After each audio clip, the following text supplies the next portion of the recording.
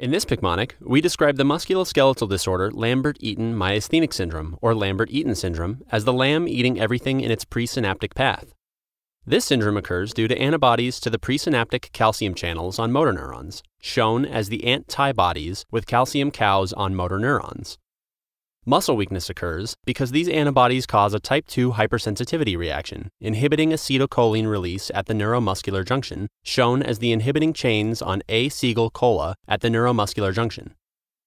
Usually, Lambert-Eaton syndrome arises as a paraneoplastic syndrome, the parachuting neoplasms, and the antibodies to the presynaptic calcium channels may be formed through a malignancy, like small cell lung cancer, depicted as the small lung tumor guise.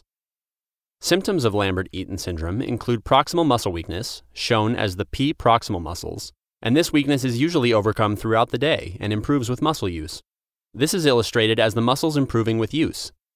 Furthermore, patients can have autonomic symptoms like dry mouth and impotence, along with blurred vision and constipation, and this is represented by the atomic auto. Patients with Lambert Eaton also show extraocular muscle sparing, seen as the eye muscles signaling they're okay.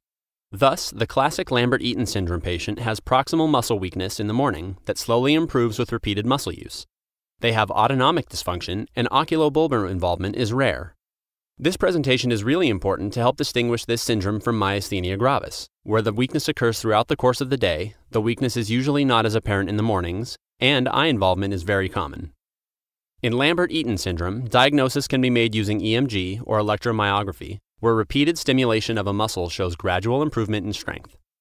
Additionally, Lambert Eaton syndrome has a negative tensilon test, or edrophonium test, while myasthenia gravis responds to this test by improving muscle strength. So, to review Lambert Eaton syndrome, it occurs due to antibodies to the presynaptic calcium channel on motor neurons, which inhibit acetylcholine release at the neuromuscular junction. This syndrome often arises as a paraneoplastic syndrome as a result of malignancies like small cell lung cancer. Symptoms include proximal muscle weakness in the mornings that improves with muscle use as the day goes on. Patients also have autonomic symptoms and typically display extraocular muscle sparing.